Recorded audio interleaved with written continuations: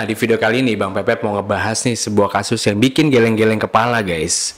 Yang mana kasus ini tuh baru terjadi di penghujung tahun 2023. Jadi masih anget-angetnya nih. Ya, kalau kalian tahu, kasus ini adalah seorang suami yang tega mengeksekusi istrinya dengan cara dipotong-potong, guys. Parah banget sih ya. Tapi sebelum Bang Pepet lanjut, Bang Pepep mau ingetin sama kalian untuk subscribe dulu channel ini dan nyalain lonceng notifikasinya. Dan juga mampir ke semua sosial media Monogram Production, ada Instagramnya, ada TikToknya, ada Facebooknya. Nanti semua ditulis di kolom deskripsi. Baik, kalau gitu langsung aja kita ke kasusnya. Seorang pria yang berusia 61 tahun yang bernama Jimmy, ia seorang pensiunan karyawan PLN.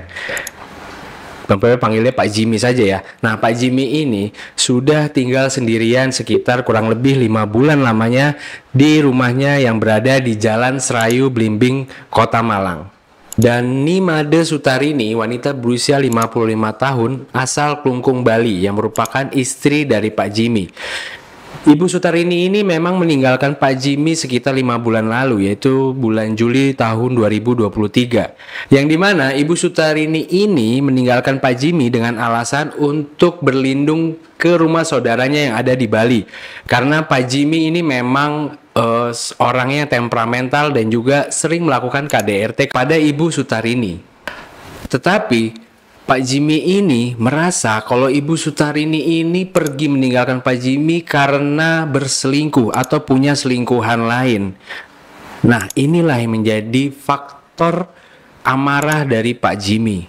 Hingga pada tanggal 30 Desember tahun 2023, Ibu Sutarini akhirnya pulang ke kota Malang yang di mana Ibu Sutarini ini berniat akan menghadiri sebuah acara yang berada di Malang. Sabtu 30 Desember 2023 jam setengah 8 pagi, Pak Jimmy menjemput Ibu Sutarini di Taman Keridai Budaya Malang. Jam 8 lewat 15, Pak Jimmy akhirnya bertemu dengan Ibu Sutarini di Taman Keridai Budaya Malang. Di mana di sini mereka sempat cekcok dengan Pak Jimmy memaksa Ibu Sutarini untuk pulang ke rumah.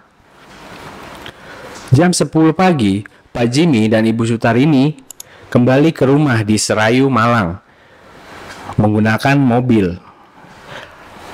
Jam 10.30, Pak Jimmy dan Ibu Sutarini tiba di kediamannya di Serayu.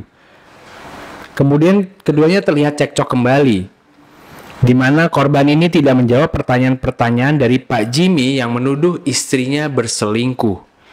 Akhirnya Pak Jimmy mulai merasa geram, kesal, dan naik darah. Hingga pada jam 11 siang, Ibu Sutra ini sudah meninggal di tangan Pak Jimmy. Setelah kepalanya dipukul dan lehernya dicekik oleh Pak Jimmy. Setelah melakukan aksinya, Pak Jimmy itu sempat bingung di mana dia harus membuang jasad dari istrinya. Akhirnya Pak Jimmy mengambil keputusan untuk memotong-motong istrinya dengan menggunakan menjadi 10 bagian.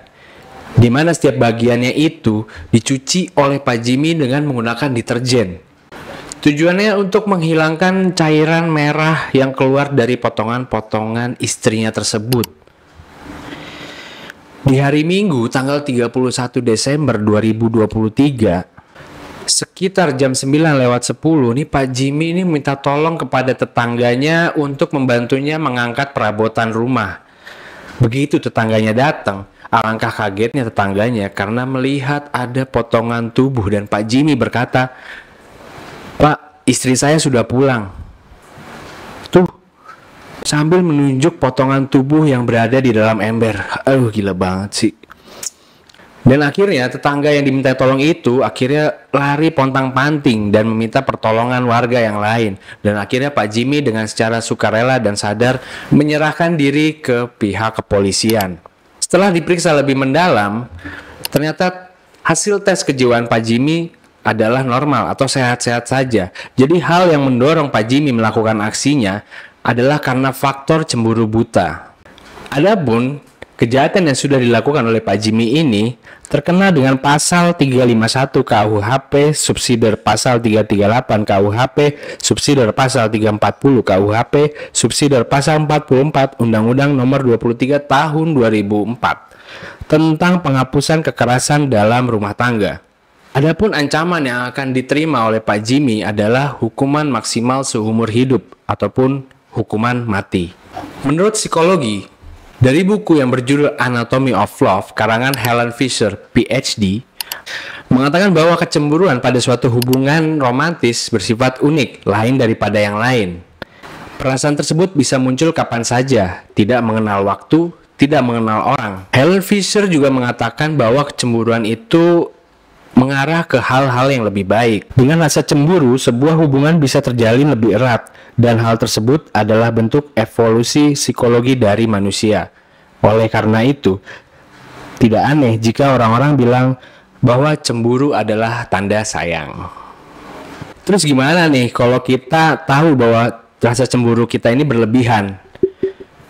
Pertama, pastikan dulu apakah benar pasangan kita ini memiliki hubungan dengan orang lain. Jangan sampai kalian semua tuh terbakar cemburu buta. Hal tersebut bisa merusak suatu hubungan. Kedua, jangan sampai kalian bersikap kasar terhadap pasangan kalian karena hal tersebut merupakan rasa cemburu yang sudah tidak sehat. Dan gak aneh kalau misalnya sekarang sering terjadi kasus-kasus itu dilatar belakangi oleh rasa cemburu buta baik itu dengan pacar ataupun pasangan suami istri. Seperti kasus yang Bang Pepep bawakan kali ini. Nah, di video kali ini Bang Pepep mau ingetin sama kalian di mana pentingnya kesehatan mental, guys. Dan kalian harus bisa mengontrol emosi dari rasa cemburu ke pasangan kalian. Coba untuk tanyakan lebih lanjut gitu, apakah benar gitu prasangka buruk kalian terhadap pasangan kalian itu terbukti atau tidak? Apakah memang pasangan kalian itu memiliki hubungan dengan orang lain atau tidak gitu? Jadi itu harus kalian kontrol emosi itu. Jangan sampai kalian bersikap kasar. Ya, seperti video atau kasus-kasus yang sudah monogram bawakan sebelumnya memang berdasarkan karena rasa cemburu. Mungkin sekian video kali ini. Bang Pepe undur diri. Jaga diri kalian. Ciao.